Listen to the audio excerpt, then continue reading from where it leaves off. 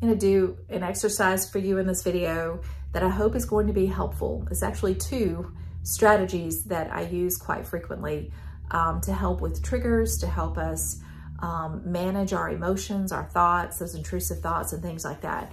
These are really easy to do and I wanted to do this in uh, one big video for my YouTube channel so that you have it handy if you need it. So stay tuned.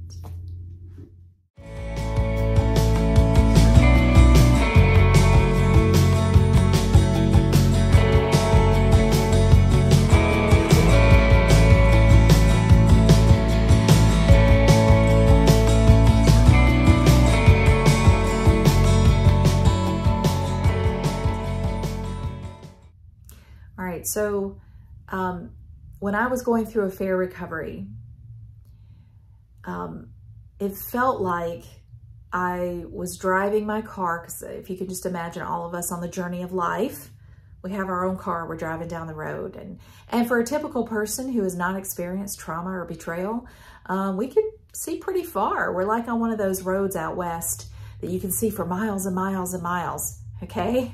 And uh, it's clear day, everything looks great. But when someone comes to us, our spouse says, hey, um, I've had an affair, that sideswipes us, right? Um, so now our car has been derailed. Our car has, has had to take a detour. And um, all of a sudden it's nighttime and it's raining and you can barely see um, two feet in front of your car. You don't know where you're headed any longer. Um, you're scared and you're driving very slow um, you're very panicky. So that's kind of how it felt for me. So in that scenario, it's easy to let one of your passengers take the wheel. Um, our passengers include our thoughts and our emotions. So when we're triggered, for instance, um, something happens and we're reminded of the affair or we get a picture in our mind or we remember that um, text exchange we read or whatever it is. Instead of us driving the car, what happens is our emotions become so powerful that we get shoved out of the driver's seat and that emotion takes the wheel. Most of the time, that emotion is either fear, frustration, or hurt, which feed anger. So any of those or all of those could get behind the wheel of the car and we are helpless to what happens next. If you can imagine the car is the example of your actions, what you're gonna do next. What's happening in our minds, and I've talked about this in other videos, is that our PTSD, our trauma, lives in our amygdala, which is the fear center of our brain when we're triggered, when the affair, we have memories of the affair, things like that, and that part of our brain lights up, the logically thinking part of our brain pulls down. And that's, that's a natural response. And that's, guys, we're wired this way. This is the beautiful way God created us in that um, to keep us safe, that amygdala, when, it when that fires off in that panicky way, and you know what I'm talking about when we're triggered, right? The heart starts racing. We get that adrenaline flow. Um, we, get, you know, we're, we're in fight or flight. It's the best way to put it. There's a purpose behind that. When we are in real danger, we don't have time to think logically. We need to get to safety. So that's how our bodies are wired to protect us. But those of us who have betrayal trauma or any other PTSD for that matter, um, our amygdala believes we're in that type of life or death situation um, all the time. so when something happens, when we're really, I mean, a thought is not going to harm your life, but your brain thinks it is. So it, it puts you into that protective mode to keep you safe. But with our logical brain shutting down and quieting while that part of our nervous system lights up to keep get us out of harm's way, it's very easy for our logical thinking selves to take a back seat and let our emotions take the wheel of the car and go nuts.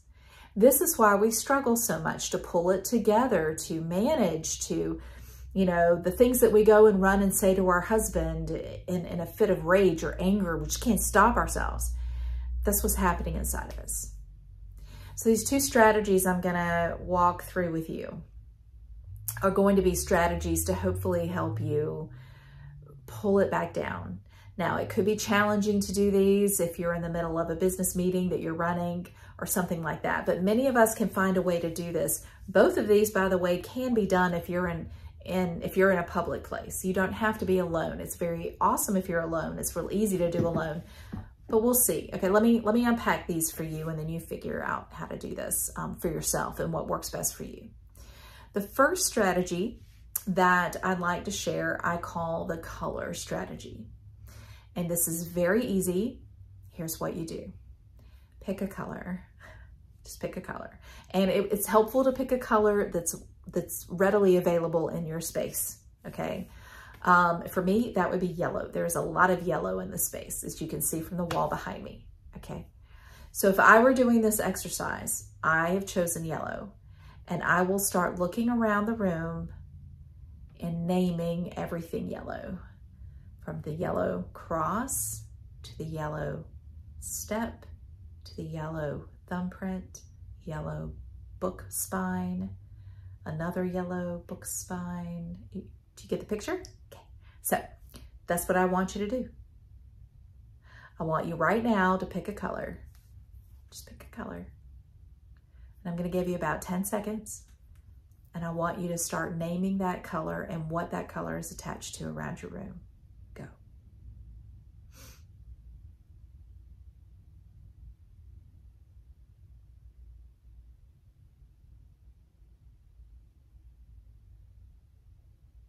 Good, okay.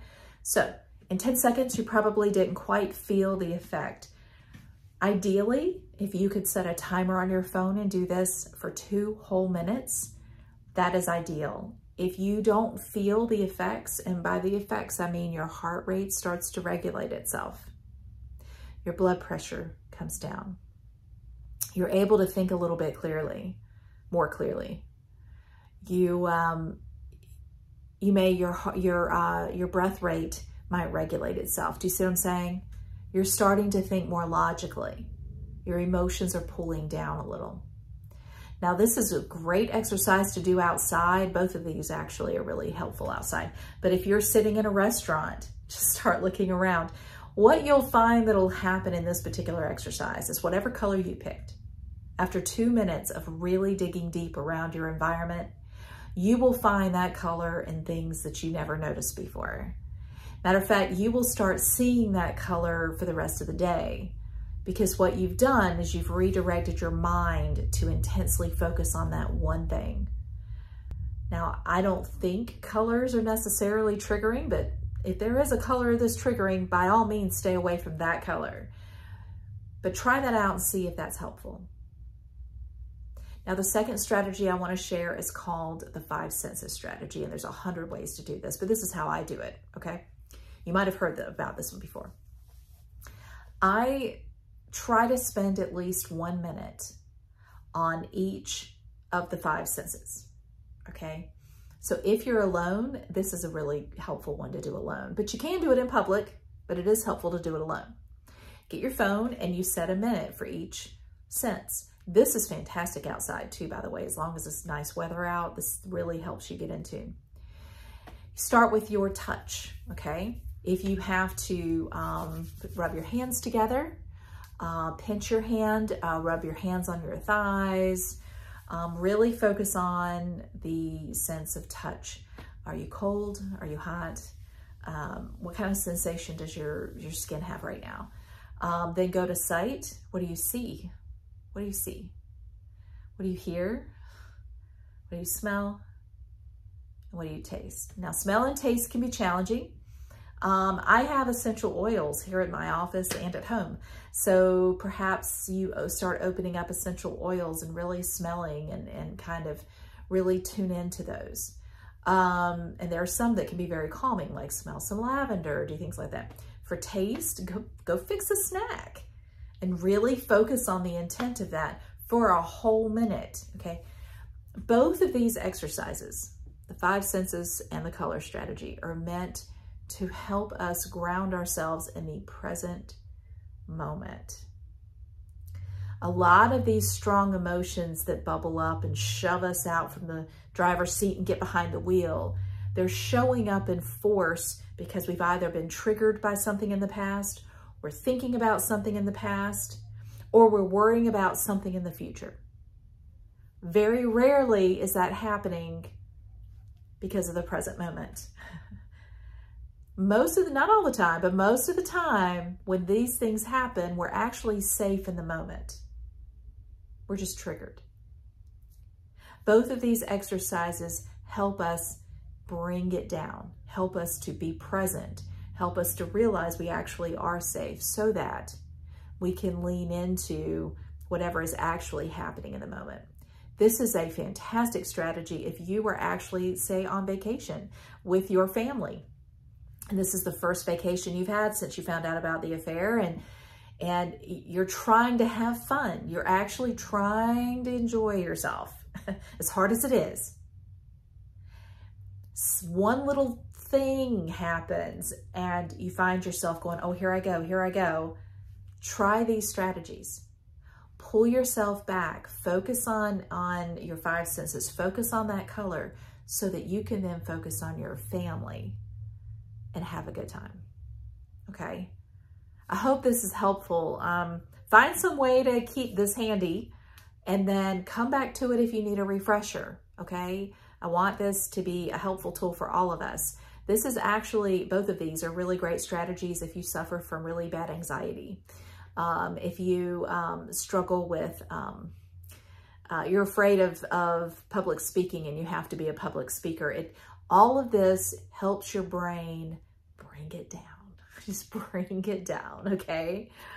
All right, I hope this is helpful. And this is just uh, a couple of strategies that I give everybody actually but uh, these are things that I work with my clients on all the time. So if you're looking for a coach, I'm a master certified coach and I work with folks just like us who've been through affair recovery, who are trying to remain in their marriage and build a healthy relationship with our spouse beyond um, his affair. So if, if you're looking for a coach, I invite you to schedule a free consultation with me. That link is right below this video.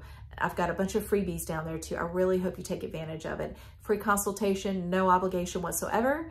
And uh, I actually do I, coach you on the call. So you can uh, uh, give me, a, uh, go ahead and schedule something with me and we can see if coaching is a good fit for you.